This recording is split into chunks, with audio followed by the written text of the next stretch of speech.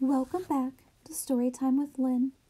Today I'll be reading All People Are Beautiful, written by Vincent Kelly, illustrated by Cha Consul. Vincent Kelly includes this dedication for William and Miles, who fill my world daily with color, inspiration, and melody. Thank you, Daddy. All people are beautiful. Look at the world around you and you will see all the fun things to do and so many great people to meet. All people are beautiful, whether older or youthful. My community is filled with grandparents, parents, aunts, uncles, cousins, siblings, and friends. I love the time we spend together, and I never want it to end. All of my friends have things that make them special and unique. Some have long hair, and some have short hair. Some are big and others are small. Some people are really short and others are very tall. Meet a few of my friends. Carter likes playing soccer. Dylan likes riding his bike. William likes beating drums. Melanie likes playing with dolls. Miles likes swimming in the pool. All of my friends like different things, but they are all really cool. All people are beautiful.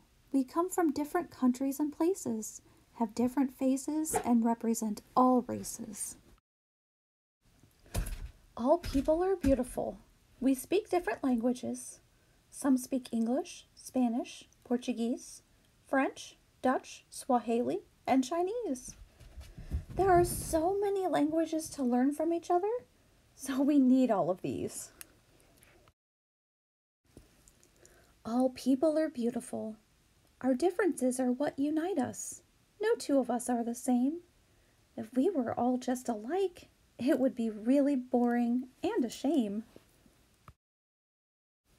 All people are beautiful. It doesn't matter what you look like. What matters is that we treat each other right. Show respect. Be polite. Help each other. Say thank you. Encourage each other. Say, great job. Say, you're welcome. All people are beautiful. Celebrate the people around you for who they are.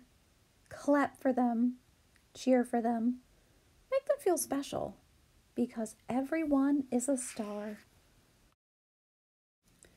Get to know the author, Vincent Kelly, and the illustrator, Cha Consul.